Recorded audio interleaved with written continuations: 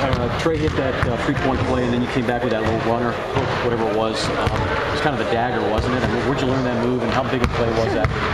Um, kind of just working, with Coach Harris and the bigs, you know, from time to time. As of late, you know, I've been doing playing a lot of four positions, so I kind of been getting big man on a little bit. But uh, it was a huge possession. Trae made some big plays down the stretch. I know made some big plays the whole night.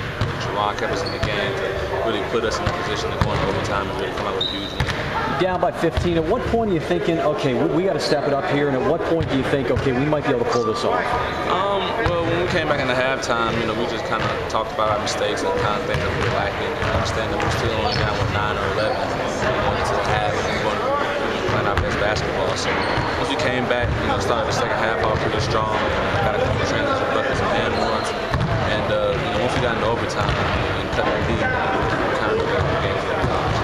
did you learn from the first Vandy game that might help you in this game? Um, I think the Vandy game just came out very lethargic. We didn't really come out with anything. Played I like, play that hard, and they just tried to. It was a 100% So um, our thing is we just have to play from start to finish.